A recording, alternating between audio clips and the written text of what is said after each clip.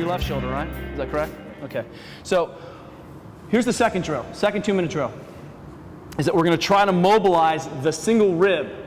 So this is different. Before we were pinning basically either side of the thoracic spine. We're trapping the entire kind of motion segment. That means the rib gets in there a little bit. We get the vertebra. And what we're doing is we're blocking between two vertebrae and then trying to extend over it. Does that make sense? In a controlled way. And what's nice is that my back was protected.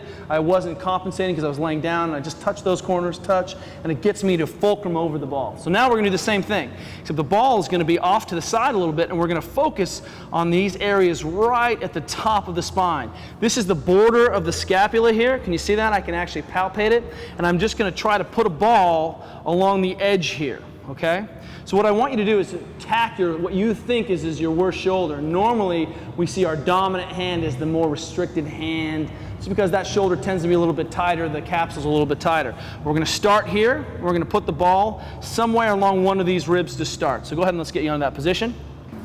And one of our hypotheses is that if we can clean up the mechanics, we're going to have better freer range of motion through there mechanically, but then because I can adopt a much more effective position, the musculature recruits much more effectively. And so I, I, get better turn on to the external rotators because they have better length tension relationship, better resting positioning. They're not so stretched out and kind of working in impossible ranges because your brain is smart. As soon as we get you organized, everything turns on, right? So that's what we call that kind of positional inhibition. If we can get him to uh, you know, clear the mechanism, then we're going to see better function. So in physio, we do this kind of thing called a PNF pattern for the shoulder, this internal rotation, you know, arm across to external rotation. And that external rotation with the arm up overhead in flexion abduction a little bit is really the end of my Olympic lifting position.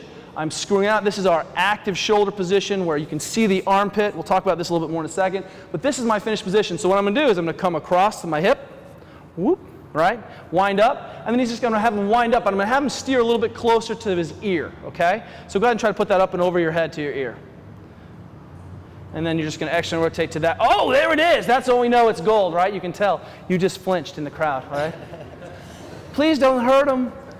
Good. Come back. And again, what we're trying to do is get the mobilization through that, okay? And just hitting that corner. You got that? Is that easy? Can you feel that?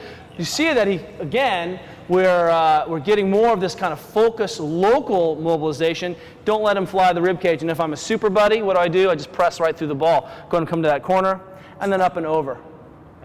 You guys can, can you see that? Can you replicate that? Good, stop. Don't, don't get any better. Let's do the two minute drill. Grab a ball.